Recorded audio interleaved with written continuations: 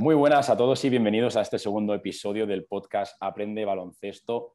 En esta ocasión eh, tenemos una charla muy, muy interesante que mantener con eh, un nutricionista de muchísima confianza, que quizás algunos ya conocéis, que es Jaime. Muy buenas, Jaime, ¿qué tal?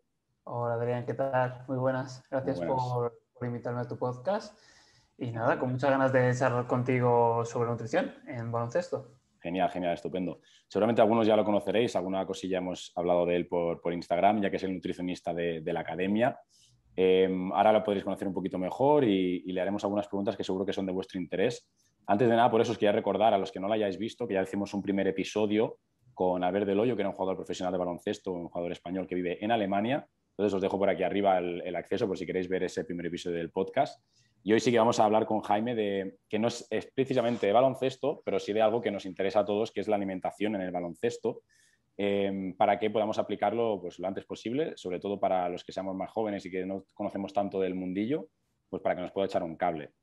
Entonces, si quieres, Jaime, preséntate antes un poquillo, explícanos quién eres y todo y, a qué te dedicas si quieres, así pues nos ponemos todos en contexto mejor. Vale, genial. Pues nada, mi nombre es Jaime Martínez, soy dietista nutricionista y también eh, licenciado en farmacia por la Universidad de Valencia. Y bueno, ya llevo cinco años que bueno, soy creador de Nutre tu Rendimiento, que me podéis seguir en Instagram y bueno, también tenéis la web para consultar cualquier servicio. Y básicamente eso, eh, ahora mismo estamos con un equipo multidisciplinar eh, que sobre todo pues, ayudamos en la parte de nutrición, entrenamiento y también psicología. Y estamos enfocados mayoritariamente a la nutrición deportiva, y pues mucho muy enfocado también a, deportes de equipo como el baloncesto y el fútbol. Genial, estupendo. Eh, evidentemente os dejaré por aquí abajo en la descripción su link a la, página web y, a su Instagram. Y bueno, y al final de todo del podcast os dejo un pequeño regalete también para relacionado con sus, sus servicios de nutrición y demás encarado al baloncesto, que seguro que más de uno lo querréis aprovechar. Entonces, eh, para ir empezando con las preguntas, Jaime, ya te lanzo una pregunta así ya muy fuerte e importante, a ver si sabes al menos cómo encararla, que es ¿Qué porcentaje le pondrías tú de importancia, ya sin tener el sesgo de la nutrición, ella por lo general, a lo que es la alimentación, el rendimiento que, le puede, la mejoría que le puede dar a un jugador de baloncesto, el alimentarse correctamente para alguien que no lo está haciendo? O sea, pasar a alimentarse al menos eh, con un asesoramiento o con una guía. ¿Sabes qué porcentaje de, mejora le, crees tú que le puede ayudar a, un jugador? Más o menos, ¿eh? Ya, a ver, en cuanto a porcentaje no sabría decirte exactamente, pero vamos, es totalmente vital, o sea, hay mucho cambio.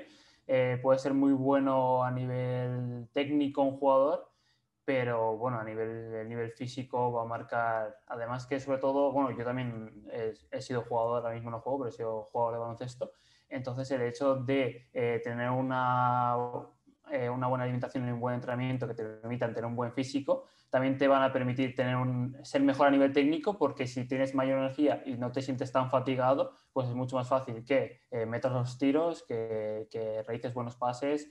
Entonces, eh, ya te digo, va a marcar totalmente la diferencia, ya seas muy bueno, que, que si luego no lo puedes llevar al momento que es importante en el partido porque no tienes una buena nutrición y no tienes la energía suficiente o no sabes alimentarte, pues totalmente va a marcar la diferencia. Evidentemente. No, la verdad es que yo, al menos yo como jugador también, eh, lo, viví en mí mismo el cambio que, conlleva y sí que a nivel energético, bueno, eso lo sabrás decir mejor tú, ¿no? Pero sí que se puede notar bastante a corto plazo a veces la diferencia de pasar a nutrirte correctamente porque para un mismo partido cambia mucho lo que te alimentes antes o incluso después. Claro, a ver, todo depende de, de dónde vienes, ¿no? Si tienes una malísima alimentación, no tienes, básicamente entrenas con tu equipo, no entrenas nada de fuerza y demás, eh, y de repente pasas a alimentarte correctamente, a empezar a realizar entrenamiento de fuerza y demás, pues en un mes cambios ya vas a notar, que obviamente no va a ser un cambio de 0 a 100, pero ya en un mes pues puedes tener bastantes beneficios. Sí, sí, evidentemente, genial. Vale, pues eh, así a, rasgos generales, si tuviéramos que dar un consejo ¿bueno? para un jugador de baloncesto, imagínate un jugador de baloncesto, chico o una chica de 16 años, ¿no? que es la, edad, 16, 18 años, la edad media de los seguidores que tenemos.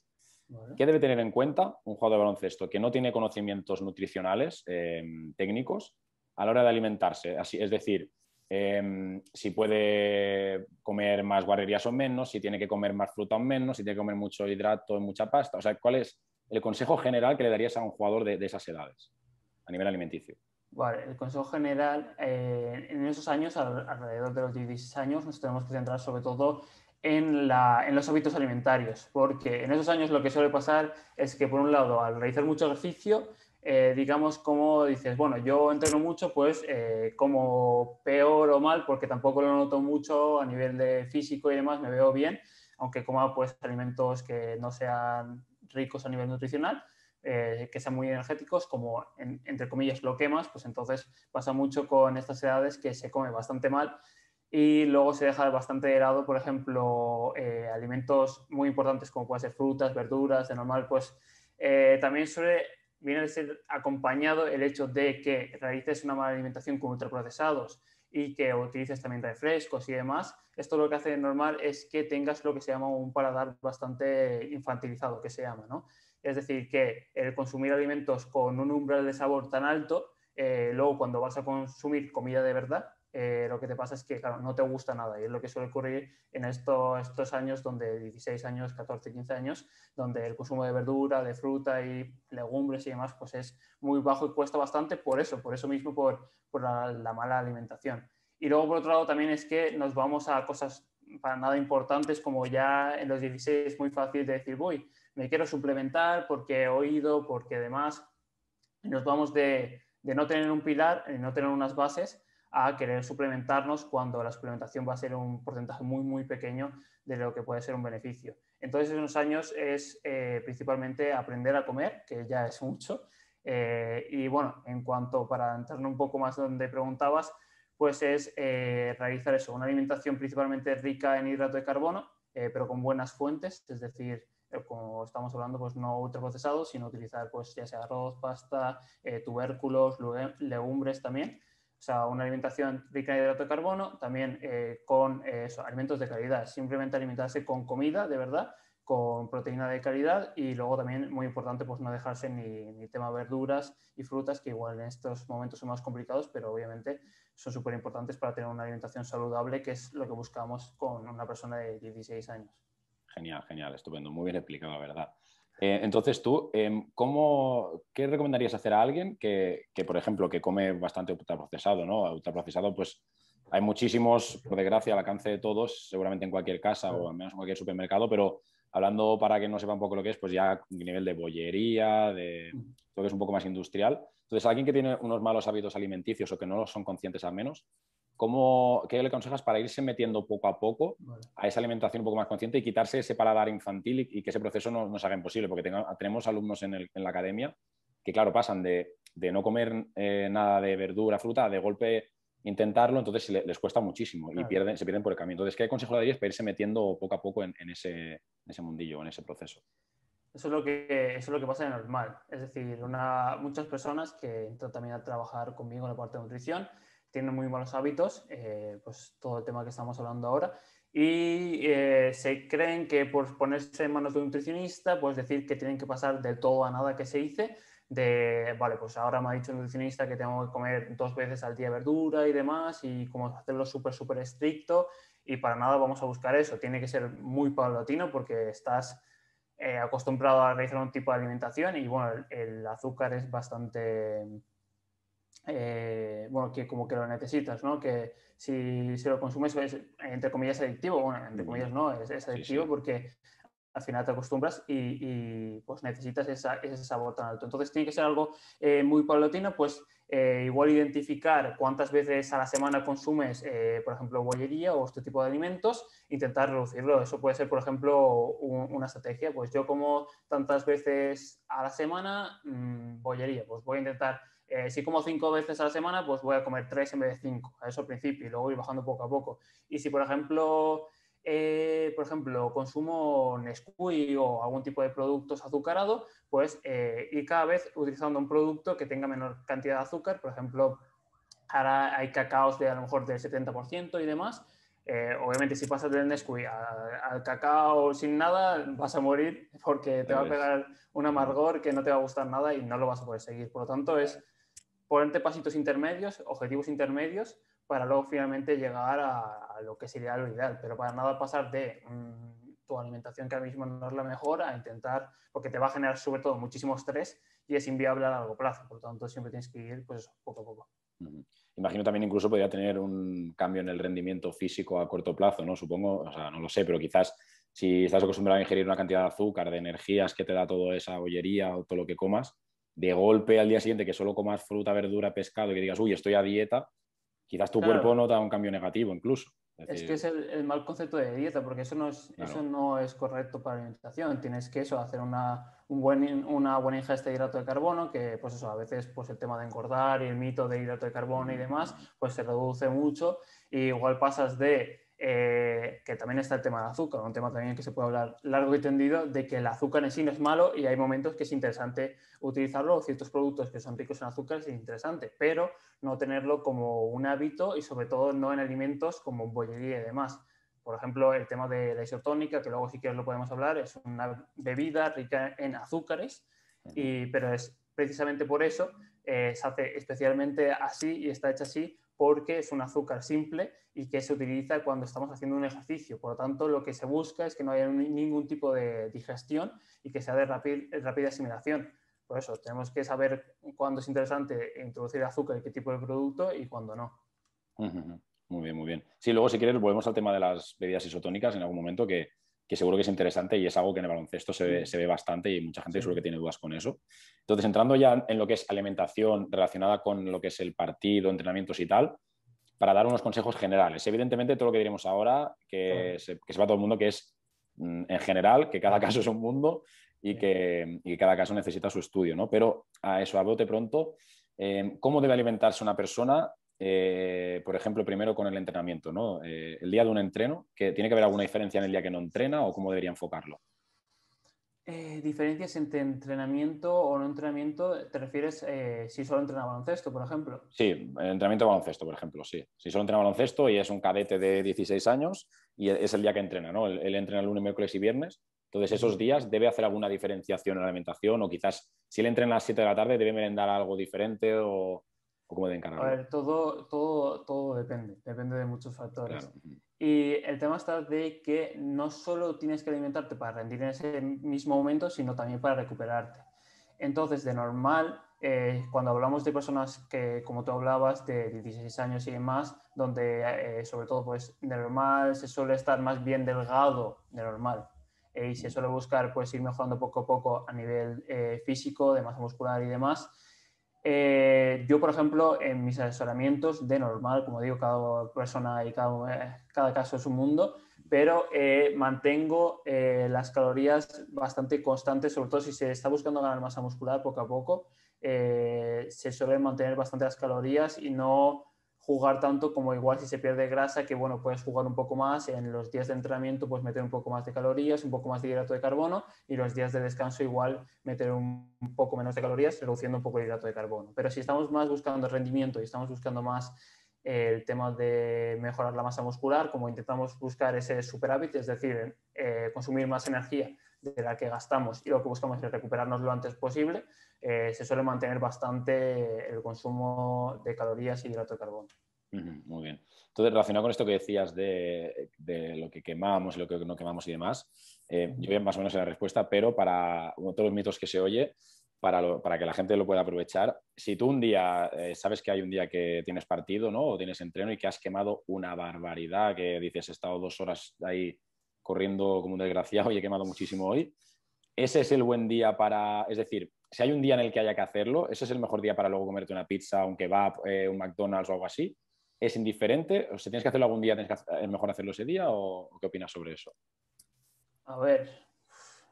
Eh, no sabría. a ver, eh, hacerlo ese día porque hace, es que ya te digo, eso supone de normal como buscar recompensa a la alimentación, el típico chip meal y demás, eh, decir, pues voy a planearme X días en concreto, realizar una comida, pues digamos, de peor calidad y demás. Yo creo que no hay que programarlo, sobre todo eso. Eh, que si por lo que sea tú juegas un partido, ganas, lo que sea, te vas con tus amigos después de fiesta o a celebrarlo y demás, y tienes una comida social y pedís pizza, pues no pasa absolutamente nada, no hay ningún tipo de problema, lo que tienes que hacer es disfrutarlo eh, con total normalidad y luego eh, pues al día siguiente ya volverás a tu alimentación más saludable. Pero sobre todo es eso, no tener problema con realizar comidas sociales, sobre todo si es una frecuencia que es normal. Es decir, si tú tienes comidas sociales todos los días, pues obviamente tendrás que tener pues, más control de esas comidas sociales. Pero si tú tienes una comida a la semana después del partido o lo que sea, yo tampoco lo veo, no lo veo relevante. Sobre todo no, que no te genere un estrés esa comida social, lo más importante es tener una buena relación con la comida. Genial, sí, sí. No sé, recientemente un, alumno de la academia, Mario, que, ha hecho tu curso de nutrición y demás, me comentaba que a veces pues, que se frustraba un poquillo cuando llegaba el fin de semana y, él seguía su, nutrición consciente, digamos, ¿no? después de hacer tu curso, y le venía ese momento de eh, cena familiar o comida con amigos, de que se va un poco la cosa de que se sentía un poco mal con ese tema. Entonces, eh, bueno, ya has dicho un poquito sobre esto, ¿no? Como lo, como lo ves tú, pero ¿qué, ¿qué, consejo le darías a alguien que se encuentra en ese caso y, cómo encarar esa comida. Porque claro, tú dentro de esa misma comida, ¿no? Te tendrían una pizzería, eh, tú puedes coger y meterte una pizza, mm, yo qué sé, una barbacoa con 10.000 salsas o, y tal, o pedirte una pizza que también te guste, pero que quizás tenga la mitad de calorías, porque puede haber una diferencia abismal. Entonces, ¿tú cómo recomiendas tratar este tipo de casos y estas situaciones para sentirte bien y aún así seguir un poco en tu línea? Sí, siempre se habla de, bueno, siempre hablo yo de tres factores, de tanto el contexto como de la frecuencia como de la cantidad. Depende mucho del contexto por ejemplo, estamos hablando pues de un jugador, como tú comentas, que eh, de normal come bien, pero que tiene a veces comidas sociales. Ese es un contexto que no hay ningún tipo de problema, que con una frecuencia baja, como estás comentando, pues eh, realice cualquier comida social. Además, es que lo bueno es que hay veces que con jugadores que tienen unas calorías muy altas, eh, obviamente la calidad no va a ser la misma, pero igualmente hay veces que piensan, Buah, es que he comido muchísimas calorías, pero es que a lo mejor en, su alimentación pautada y demás, igual comerían igual o más, o más calorías, ¿sabes? Porque cuando estamos haciendo ingestas tan altas, porque pues, jugadores de baloncesto súper altos, eh, ya con cada vez más masa muscular y con entrenamientos, pues se tiene un gasto calórico bastante alto.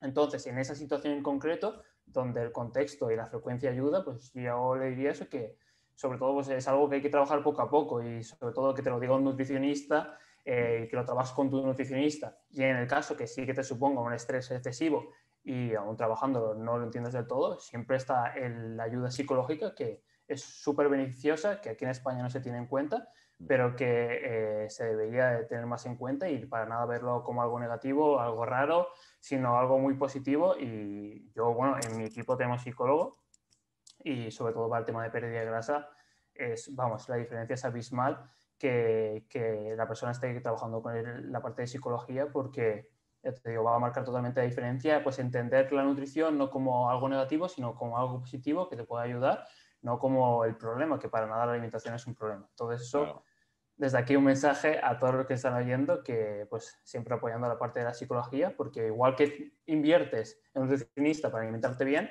si tú a nivel psicológico no estás bien, pues tienes que invertir también en su cosas. Algo que yo en varias ocasiones en mi vida a nivel deportivo me he puesto eh, objetivos de peso, he tenido que hacer algún cambio, ¿no? subir un poco, bajar poco, y a mí al menos también lo que me ha ido bien a nivel psicológico, antes de empezar, igual que cuando haces cualquier otra cosa que te puede costar un pelín, es tener claro eh, por qué lo estás haciendo antes de ponerte, ¿no? Porque hay gente que dice, ah, quiero, ah, quiero perder dos kilos, pero realmente a ti te da igual esos dos kilos, ¿no? Entonces, yo al menos, a mí me ha ido muy bien el a nivel psicológico tener claro tú contigo mismo el por qué lo estás haciendo, cómo hacerlo y a dónde quieres llegar y, en y al menos pues tener un claro un poco de esa medida, ¿no? Que ver, eh, tomar un poco medidas de, dónde estás, dónde quieres ir, para que se haga un poquito más ameno y ver un poquito el avance. Al menos yo, mm, ese enfoque psicológico me ha ido bien el de, saber por qué lo estás haciendo y recordártelo un poco, porque si no, eres un poco la guía y el norte, ¿no? Y, y a todos nos pasa que, sobre todo al principio, el cambiar el hábito de a la una y media antes de comer, empezar a coger una bolsa de patatas, pues cuesta dejarlo, ¿no? Y entonces tener un poco claro el por qué, al menos a mí me ha ido muy bien. Entonces, si quieres, volviendo un poquito de forma más específica a lo que es la comida a nivel competitivo y demás, em, ¿qué recomiendas? Que, si un jugador juega eso a, eh, las 7 de la tarde, em, ¿qué, es, bueno merendar sea, una buena, dejando de dar cantidades, ¿eh? evidentemente, claro, no es lo mismo alguien que pesa 100 kilos que alguien que pesa 50 y que tiene 14 años, pero así por lo general, ¿Qué alimentos son buenos ingerir antes del, partido, por ejemplo? Vale. Pues a ver, eh, características básicas que tiene una comida, que tiene tener una comida pre-partido sería lo más importante de todo que fuera de una fácil digestión. Eh, sobre todo es una, no probar en ese momento prepartido una comida nueva, lo suyo es utilizar comidas que ya sepas que te sientan bien, porque bueno, como hemos estado comentando, cada persona es un mundo, obviamente hay cosas que hay que tener en cuenta, pero si ya has probado esa merienda o esa comida previamente y sabes que te sientes ligero, luego te sientes bien, pues es lo mejor. Eh, pero bueno, en cuanto a características a nivel nutricional, pues buscaríamos una comida que sea rica en hidratos de carbono. Eh, pues en este caso estaríamos utilizando más eh, cereales a nivel refinados, no integrales, por el tema de que, bueno, buscamos que sea básicamente rápido, alta, moderada, alta en hidrato de carbono, que sea baja en fibra y que sea baja en grasas. ¿Por qué? Eh, el hecho de que sea baja en fibra y baja en grasas va a hacer que la digestión sea mucho más rápida y mucho más fácil. Y lo que buscamos es que luego en el partido pues no tengamos problemas a nivel de casos intestinales eh, por el tema de que obviamente cuando... Es decir, si, tenemos, si aún estamos haciendo digestión y tenemos la sangre en el estómago, eh, no vamos a, tener el mismo rendimiento que si ya hemos hecho la digestión, ya estamos pues más, menos pesados, más ligeros y ya pues la sangre va mejor a los músculos y entonces vas a tener un mejor rendimiento. Entonces, básicamente eso sería moderada alta en hidrato de carbono, que sean más bien eh, refinados, pues ya sea, eh, bueno, en, este caso, como he dicho, una merienda, pues eh, yo suelo utilizar mucho tipo de cereales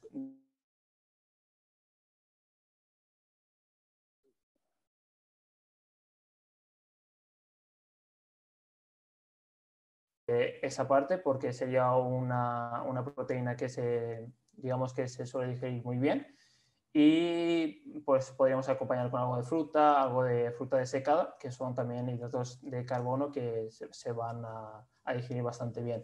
Entonces, eso, básicamente pues podría ser un yogur líquido desnatado con, con cornflakes y algo de fruta desecada. Un ejemplo de muchísimos que pueden hacer. claro, claro. ¿Y cuánto rato antes se debería eh, comer?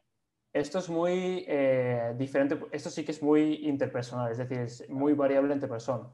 Entonces, eh, lo que se suele aconsejar, pues dos, tres horas antes realizar la comida. Pero ya te digo, eso, eso sí que es, vamos, muy cambiante entre personas y también cómo te gusta que te sientas en el momento del partido, porque hay personas que igual dejas mucho espacio, entonces como que se sienten con hambre y tampoco se sienten con la máxima fuerza, que digamos, ¿no? Porque si tienes esa sensación de hambre tampoco es positivo durante un partido. Mientras que luego, pues eso, hay otras personas que, que necesitan más espacio y otras que menos. Pero bueno, más o menos, pues lo típico, dos, tres horas para que te sientas ligero, pero a la vez no, tengas, no tengas hambre. Genial, vale. Entonces, luego iremos con el postpartido, que ahora estamos un poquito con lo que es el prepartido, pero ahora que ya estamos en una estación de partido, ¿no? Nos hemos comido bien, como os ha dicho Jaime, nuestra yogur con cereales y la fruta y demás, esas dos horitas antes, por decir algo, ¿eh? por ejemplo. Entonces, llega el momento de partido. Yo, por ejemplo, el sábado juego un partido y tengo un compañero que siempre, eh, es evidente que él lo hace porque a él le va bien y entonces ya es cosa suya, ¿no? Pero él siempre se come un plátano en el vestuario antes, antes de salir a empezar el calentamiento. Hay otro que tenía otro compañero que en el descanso siempre se comía un plátano y en los vestuarios de baloncesto he visto mucho plátano. Entonces, ese, plátano antes de justo, justo de empezar el calentamiento o durante el partido en el descanso, ¿cómo lo ves y, qué recomiendas hacer con eso? Un poco, al menos a quien no lo tome. Está claro que quien lo tome le vaya bien, pues ya está, ¿no? A ver, eh, puede ser interesante en ambos casos. Depende, pues obviamente, cómo te sientes. En el momento pre-justo partido, Igual puede ser porque suele ser una persona que igual sí que eh, come bastante antes y eh, no quiere tener esa sensación de vacío a nivel estomacal y por tanto puede buscar ingerir una pequeña cantidad de hidrato de carbono en ese momento. Entonces, en ese, en ese caso particular puede ser interesante. Justo antes tampoco me parece lo ideal, ideal, pero bueno, también es eso. Si vienes de una sensación de, de, de vacío, es un alimento que puede ser interesante porque es hidrato de carbono simple y es de bastante fácil digestión, entonces puede ser interesante. Y lo mismo que ocurre en, el descanso. Eh, tenemos unos pocos minutos, tampoco muchos, pero tenemos un poco de tiempo para intentar recuperar y es el momento que igual más podemos, bueno, el único momento que podemos ingerir eh, comida sólida para intentar recuperarnos de la primera parte del partido. Por lo tanto, en ese momento sí que puede ser interesante. Yo ahí eh, tanto en el descanso como durante cuando estés en el banquillo descansando. Ahí es muy interesante utilizar, como estamos comentando antes, la bebida isotónica, eh, porque lo que estás consiguiendo es hidratarte, que va a ser muy importante, eh, recuperar las sales minerales, de, sobre todo del sodio que pierdes por el sudor, y además introducir hidrato de carbono simple para recuperar esas reservas de glucógeno que las vamos a gastar durante el ejercicio de baloncesto que es de alta intensidad y por tanto vamos a gastarlas. Así que, eh, ya te digo, puede ser interesante en, la, en, ambas y en el descanso puedes utilizar ya tanto isotónica y si puedas meter un plátano o un, gel deportivo también para meter algo más de hidrato de carbono y recuperarte un poco más de la primera parte, pues podría ser un, algo interesante. Vale, entonces, tema, tema isotónicas, entonces es bueno, ¿no? Que un jugador, en, si a él le gusta, que se beba un Powerade o un Aquarius eh, en el descanso durante el partido, no, no tiene ningún tipo de problema, ¿verdad? No, de hecho es interesante. Lo único que hay que tener cuidado con el tema de las marcas, porque hay muchísimas marcas, como has hablado de, de Aquarius y Powerade, que no cumplen las recomendaciones de una bebida isotónica. Es decir, muchas bebidas isotónicas que se plantean como tal no son isotónicas. Y esto es porque también, pues, mucho por el miedo del tema del azúcar y demás, hay muchas bebidas energéticas que lo que han hecho es utilizar, pues, tanto el Aquarius Cero, Powerade Cero. Entonces, claro, ahí no tiene ningún sentido utilizar ni un Powerade, ni, bueno, ninguna bebida isotónica cero, que no son isotónicas porque no tienen carbohidratos. Eh, porque lo que buscamos en ese momento es introducir carbohidrato de forma simple, es decir, azúcar, para recuperar eh, los depósitos de glucógeno que hemos perdido durante la, primera parte eh, y facilitar esa recuperación para que luego puedas estar mejor. Así que sí que es interesante y además lo que comentaba, si te hidratas solo con agua y eres una persona, además en un pabellón que suele hacer bastante calor, y que pues hay bastante sudoración, si te hidratas solo con agua no te estás hidratando de forma correcta, porque solo estás metiendo agua y has perdido sodio. Por lo tanto, no estás recuperando el sodio y la hidratación no es correcta. Así que sí, que sería interesante. Muy, buen tip este, vale, muy bien. Entonces, ya que hablamos de marcas y tal, si yo ahora, por ejemplo, me quiero hacer, hoy voy a hacer la compra en Mercadona, ¿hay alguna bebida isotónica que recomiendes especialmente o algo? Eh, yo suelo recomendar, si son bebidas, a ver, yo suelo recomendar que se, digamos, que la hagas tú en tu casa con, hay muchísimas que son, eh, y es que te sale más económico, que son los polvos y que tú lo puedes mezclar con agua y así te aseguras de que eh, cumplen todas las recomendaciones. Pero eh, a, nivel de marca, eh, yo sé que Gatorade suele estar, suele estar bastante bien. Sí que es verdad que en cuanto a hidrato de carbono sería interesante que llegara a 6 gramos de hidrato de carbono por 100 mililitros y si no me equivoco están 5, pero bueno, tampoco es problemático. Pero sí que es verdad que a nivel de sodio sí que es correcta la bebida y hay muchas bebidas como por ejemplo Aquarius que a nivel de sodio pues eh, no, no, llegan las recomendaciones. Por lo tanto, Gatorade como marca de isotónica suele estar bastante bien, aunque me imagino que hay, como en todas las marcas de isotónica, pues muchas variaciones dentro de la misma marca y tienes que saber elegir. Vale, genial. Entonces, un buen consejo sería eso, ¿no? Buscarse los polvos para hacer la, lo que es la bebida en tu casa, ¿no? Que imagino que debe haber varias marcas que, que, están bien, ¿no? Para buscar esos polvos y demás. Entonces, a partir de ahí, pues eh, cada uno en su casa ya lo tiene y genial. Pues mira, yo, no, yo no lo hacía, ¿eh? yo llevaba ahora un tiempo que solo bebía agua en los partidos y esta semana lo probaré. Si meto 20 puntos ya se va a quedar para toda la vida. ¿eh? No, es, uno de los, es uno de los fallos más comunes. Tanto, tanto en baloncesto como en fútbol y demás, no aprovechar los pequeños descansos que tienes ni para alimentarte ni para recuperar a nivel ni hidratarte correctamente. Mucha gente que solo mete agua y ya está. Y ya te digo, es una, algo muy frecuente. Genial, muy bien. Vale, pues ahora que hemos hablado un poquito de lo que es el prepartido ¿no? y el durante, que esto ha sido muy interesante, tema de bebidas isotónicas, que hemos sacado aquí algunos consejos muy buenos. Eh, también en líneas generales, cuando acaba el partido, ¿no? yo por ejemplo este sábado jugaré a las 4. Eh, me acabará a las 6, estaré destrozado, encima ahora no estoy en muy buena forma, con tema confinamientos hemos pasado y demás. ¿Qué es lo mejor que puedo ingerir en ese momento para tener una recuperación óptima y tampoco pasarme de las calorías que quiero controlar y demás? Bueno, yo en la parte post partido siempre depende de la cantidad de tiempo que tienes para llegar a tu casa y poder comer en casa o no. Es decir, yo siempre hablo de, bueno, a mis, a mis asesorados y asesoradas, les comento, si eh, vas a tardar más de dos horas en poder realizar la siguiente comida, dos, tres, cuatro horas, es decir, igual juegas fuera y no te, eh, si no te llevas nada, pues eh, puedes tardar bastantes horas en comer. Entonces, si vas a tardar mucho tiempo, sería interesante que te llevaras algo al campo para después eh, recuperar. Y en este momento, pues hay muchas diferentes opciones, ya sean más caseras o menos caseras. Eh, se puede utilizar suplementación eh, que son los recovery, que son suplementación que tiene tanto proteína como hidrato de carbono. Lo que buscamos es bastante parecido a la parte prepartido, es decir, realizar una óptima recuperación tanto de la masa muscular, por tanto, consumir 20-40 gramos de proteína en esa toma y luego eh, recuperar los depósitos de glucógeno, es decir, hidrato de carbono. Que a la parte de recuperación se suele hablar de 1 a 1,2 gramos por kilogramo de peso corporal de hidrato de carbono. Esto es, bueno, es un poco avanzado y si no sabes exactamente las cantidades, pero bueno, como tú bien has hablado, lo vemos bastante bien en, el tema del curso. Mm. Y, y, bueno, pues eso, o si no, si te lo tienes que llevar, puedes utilizar un recovery que yo suelo recomendar el ratio 1-3, es decir, eh, 1 de proteína, 3 de hidrato de carbono, así si metes 100 gramos, eh, suelen tener 20 gramos de proteína y 60 gramos de hidrato de carbono, que más o menos cumple con las, recomendaciones que estaba comentando.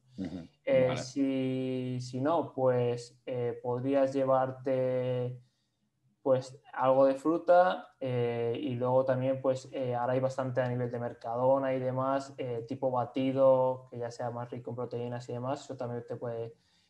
o bueno, también puedes llevarte por ejemplo un bocadillo, más fácil que eso tampoco es, es porque con el bocadillo también es muy transportable y también puedes, pues, eh, hidrato de carbono con el pan, te llevas algo de fruta y luego, pues, eh, metes algo de proteína, ya sea, pues, queso, pavo y demás, para meter la parte de proteína y poder recuperarte cuanto antes. No, eso es, em, creo que es importante porque yo, por ejemplo, siempre que iba a los partidos hace años, eh, que era más peque, mi padre siempre llevaba en el coche mm, galletas, las dinosaurio de toda la vida. Y claro, acaba el partido y, toma, galleta de dinosaurio, un poco de chocolate, que eso, mira, era lo peor de, lo que me estaba comiendo. Y, era la costumbre, ¿no? Pero, pero bueno, está bien saber que, que la, la, merienda más típica de toda la vida, creo yo, menos para mí, que es un bocadillo y una pieza de fruta, esa es ideal. Luego ya tema cantidades, evidentemente, es otro mundo, ¿no? Entonces, ese bocadillo, em, ya que metemos ahí los hidratos con el pan y demás, el bocadillo de qué hacerlo, ¿en qué embutidos o qué contenido te moverías así a lo general para, un jugador de baloncesto? yo qué sé, pues de pavo, jamón, de queso o qué, A ver, se puede utilizar bastantes opciones. También una cosa que no se suele utilizar y que puede ser bastante interesante es utilizar huevo o una tortilla. Eh, puedes meter proteína de muy alta calidad y también muy interesante a nivel nutricional. Y luego, si no, pues puedes tener bastante variedad. Eh, lo único mirar un poco, pues el tema del pavo, el tema de, sí, de este tipo de, fiambres y demás, que mirar el porcentaje de carne para que hay muchos que a lo mejor tienen solo un 50 o un 60 y es bastante bajo, buscar que sean de más de 80% al menos eh, es interesante. Y pues eso, eh, también jamón serrano puedes utilizar, eh, hay, bastantes opciones y pues cualquiera de ellas estaría interesante. Es algo que tampoco el embutido tienes que abusar a nivel de consumirlo diariamente un par de veces al día, tampoco sería interesante, pero que, sí que se puede utilizar tampoco hay problema. Vale, muy bien, estupendo. Vale, pues ahora que ya sabemos cómo alimentarnos antes, durante y después del partido, vamos a, un tópico que me encuentro bastante, al menos con jugadores de baloncesto, y es, como tú decías, hay muchos jugadores que hay una tendencia, evidentemente, de casos diferentes, de que hay gente pues, delgada, que tiene, pues yo qué sé, 15 años y que sabe y todo el mundo le dice que, ostras, es que a ti te iría genial eh, pesar 8 kilos más. Lo típico que, a, muchísima gente le dicen, ¿no? Que yo no, a mí nunca me ha pasado porque soy lo contrario, pero mucha gente tiene, tiene ese tema, ¿no? Entonces, alguien que ahora mismo no hace un trabajo de fuerza específico, a lo mejor hace físico con su equipo o lo que sea, pero bueno, algo normal de baloncesto, ¿cómo le recomendarías encarar la alimentación? Porque claro, en muchas casas dicen, vale, pues si quieres pesar 6 kilos más, pues eh, come más arroz o come más pasta o come más, bueno, lo que sea, ¿no? Más o simplemente más cantidad y subirás. Entonces, ¿cómo te recomiendas tú encarar eso, eh, teniendo en cuenta de que no, es una persona que no tiene mucho, mucho conocimiento y que simplemente pues, tiene acceso a lo que tiene en una casa normal para un adolescente? Vale, dos cosas. Eh, por un lado, ganar 6, 8 kilos eh, que sean reales de masa muscular te puedes tirar varios años. Entonces, eso es, importante. Puedes ganar 6, 8 kilos de peso, pero de masa muscular te, vas a tirar dos años si, lo haces bien. Y luego la otra, si no realizas entrenamiento de fuerza, olvídate de, ganar masa muscular. Eh, va a ser muy, muy complicado y puede ser, puedes ganar algo por el entrenamiento que haces con el equipo, pero si no realizas entrenamiento de fuerza, no hay suficiente estímulo, entonces, mm, entre comillas, no da igual lo que comas, pero eh, no vas a tener las ganancias optimizadas de, de masa muscular. Luego, por otro lado, en el caso de que sí que estamos hablando de un jugador que quiera mejorar en cuanto a masa muscular y que sí que entrene fuerza, eh, entonces, sí que es verdad que eh, mientras que cuando buscamos la pérdida de grasa, buscamos eh, que la alimentación sea bastante saciante, es decir, pues que nos cueste porque que sea mucho volumen y que utilicemos algún tipo de alimento, ya sea tubérculos, legumbres que sean más saciantes, pues en el caso de la persona que quiera buscar masa muscular vamos a utilizar todo lo contrario. Todo lo contrario es buscar eso, una alimentación poco saciante. ¿Cómo se consigue?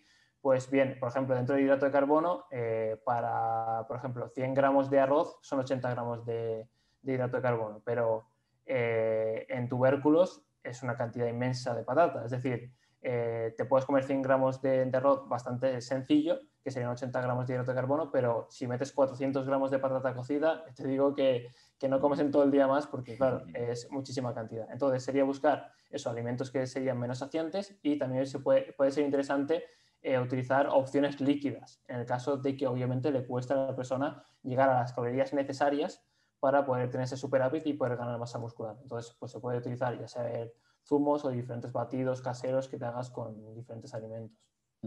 Vale, genial, muy bien. Bueno, creo que ha quedado bastante claro y espero que, que os pueda servir a más de uno.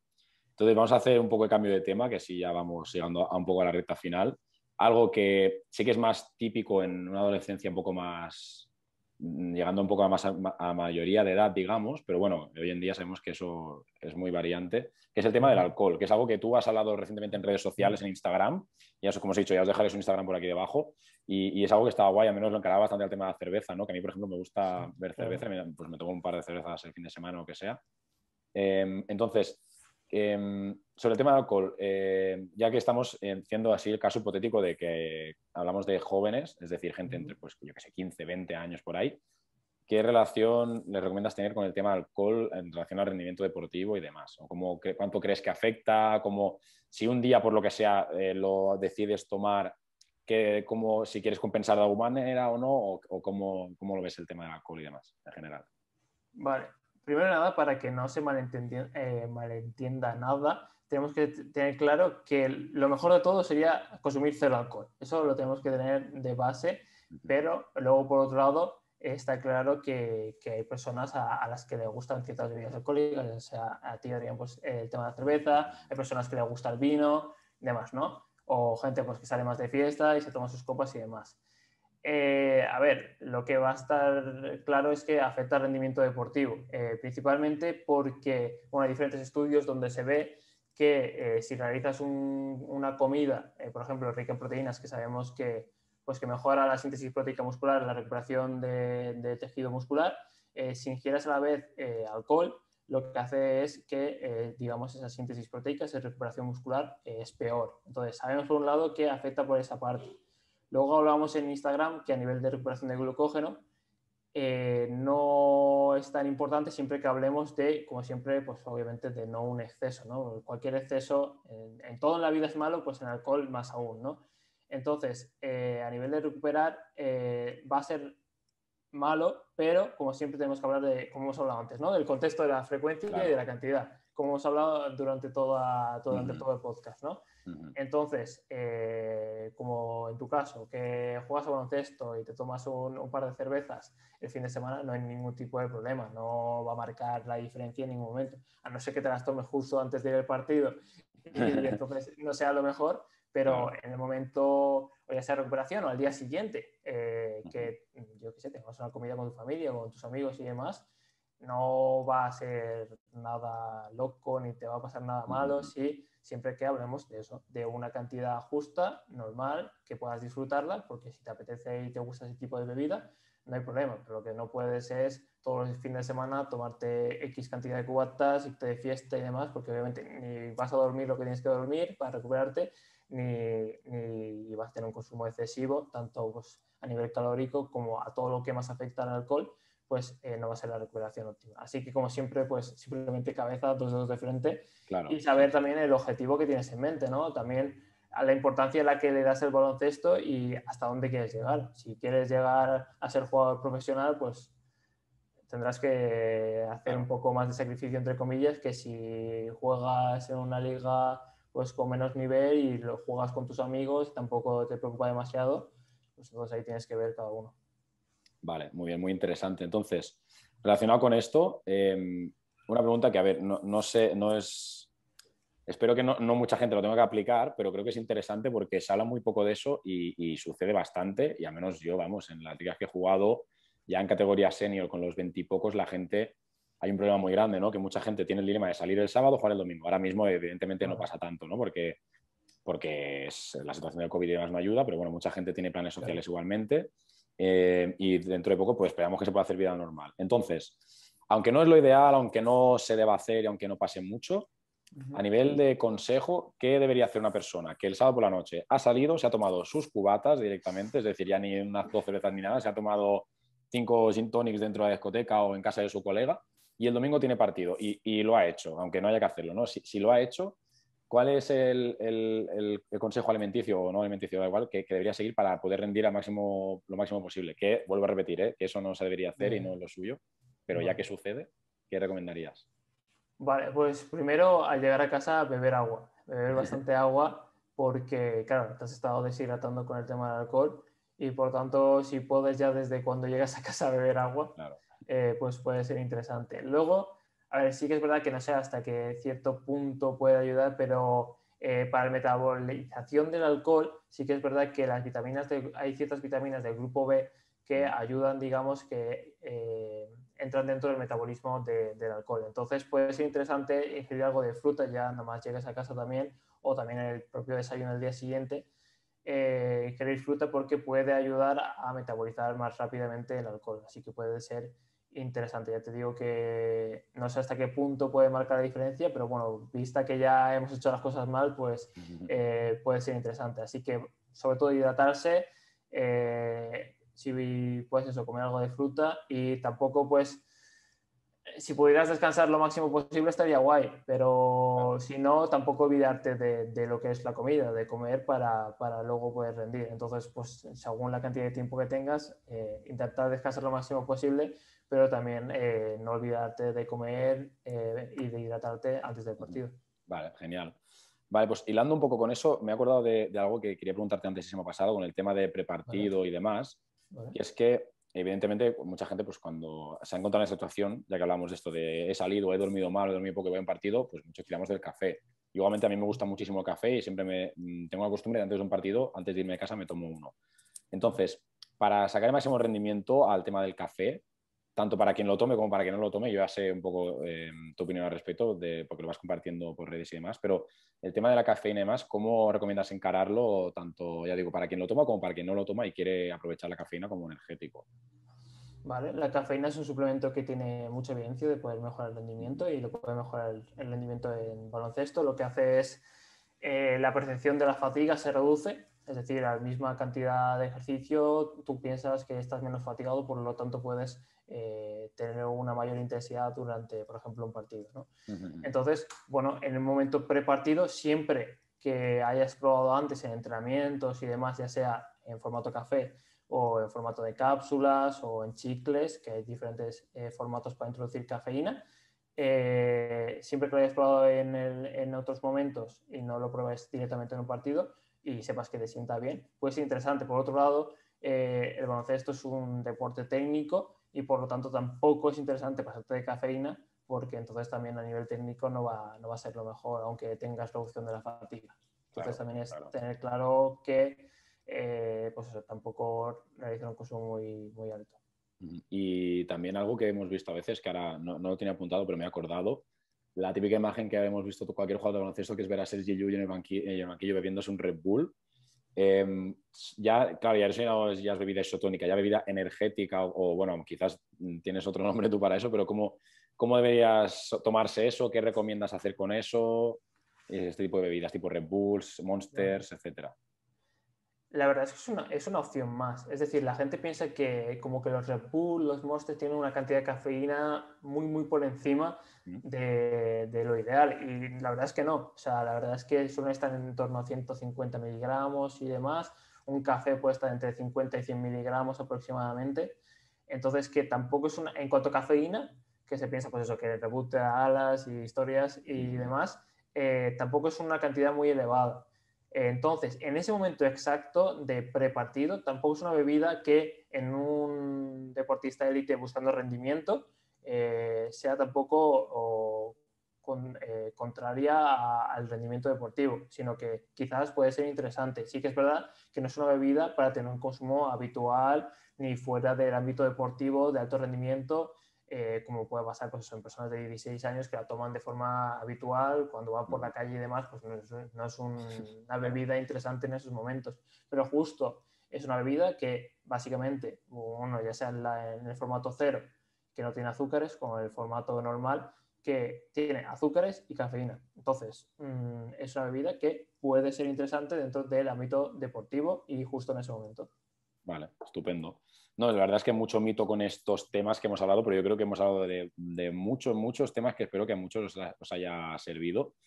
Entonces, eh, ya que hemos estado charlando tanto con Jaime, imagino que habréis visto que esto os ha podido aportar muchos consejos y demás. Como os he dicho, os dejaré sus links en la descripción, tanto de Instagram como de la página web. Eh, también quería aprovechar para deciros, eh, para quien no lo sepa, que Jaime, como os he dicho, es un nutricionista de la academia y que de forma conjunta tenemos un proyecto ¿no? que es el Campus Transforma, que dentro de él los jugadores se somete a un proceso de transformación absoluto, ¿no? que, donde tratamos eh, la preparación física, eh, la nutrición, lo puramente baloncesto, la psicología y demás. Y Jaime tiene pues, ese curso de baloncesto.